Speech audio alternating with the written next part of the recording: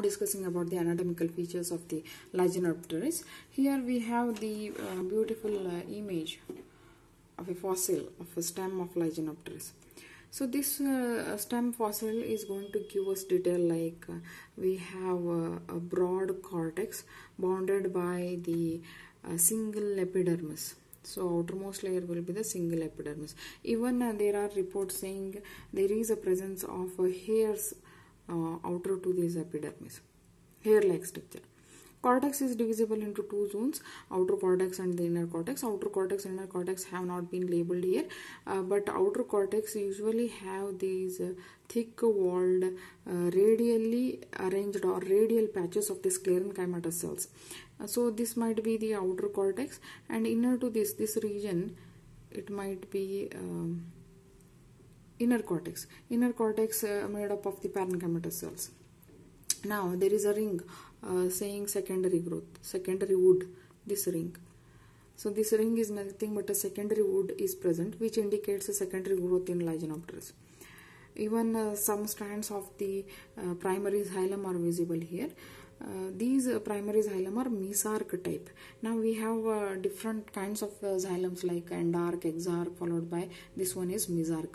In exarch, protoxylem will be, uh, protoxylem is situated towards the periphery and metaxylem towards the center.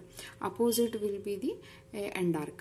Whereas in mesarch, uh, metaxylem develops both internally and ex externally to the protoxylem internally as well as externally to the protoxylem who will be present metaxylem such condition of a xylem is called as a mesarch so we have a mesarch type of xylem in in a Lyginopteris uh, indicating this uh, mesarch xylem are present inside this secondary wood. Uh, what it indicates? It indicates the presence of cambium. That's the reason it is showing secondary wood, nothing but a, a secondary growth. Secondary growth is nothing but a formation of a woody stems. That's the reason even though it is a climber, it has got a woody stem. Uh, we have even a leaf traces present. So presence of the leaf trace is nothing but an uh, indication that it had uh, ectophloic siphonos siphonostele. So stele was ectophloic uh, siphonostele. Uh, apart from that, we have a pith so central pith this is large and it is made up of uh, parenchymatous cells. And it processes uh, uh, frequent clusters of a small small uh, sclerotic cells. The, usually they are referred as a sclerotic nest. Now what exactly sclerotic nest are? The name itself is saying uh, these uh, cells are usually made up of sclerenchymatous cells sclerenchymatous.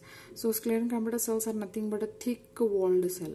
The main function of them is to provide a mechanical strength or support to this stem. So this was a description regarding uh, the anatomical features of a stem of Lyginopteris.